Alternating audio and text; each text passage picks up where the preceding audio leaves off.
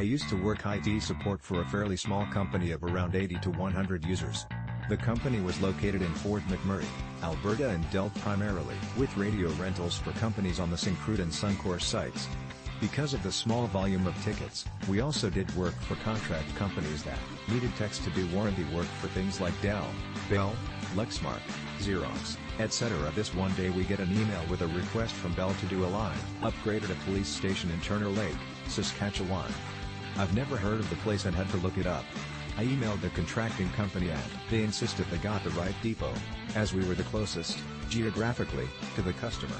Turns out we're roughly on the same latitude, about the same distance from the Alberta slash Saskatchewan border on each side of it.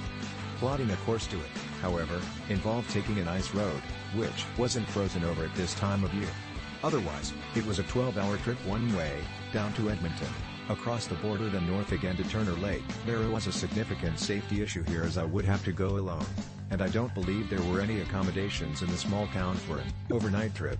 The safety officer said no to the drive but decided to arrange a flight for me instead.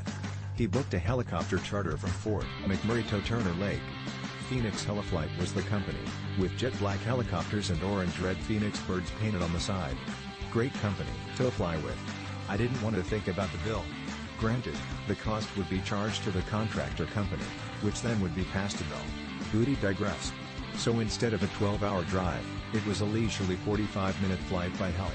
First time ever on a helicopter and I will never forget the experience. My manager had to get in on the trip and came along. One sitting in the front with a full 180 degree view, the other in the back end switching places on the way home. The whole trip to another province took merely the morning and we were back in the office.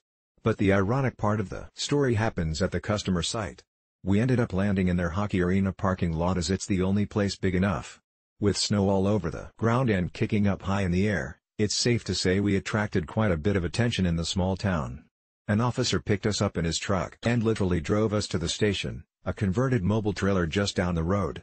My job, remember, was to upgrade their internet line by flipping a few switches on the back of their router and a bell direct me on which ones. They would then do a test to make sure it's all good, then I can leave. So when we arrived, there was a tech already there from SaskTel pulling cables and whatnot and taking up all the room in the small data closet. Fouled the networking gear. I waited for him to finish while my manager chatted up the officer about the flight. I watched him as he connected,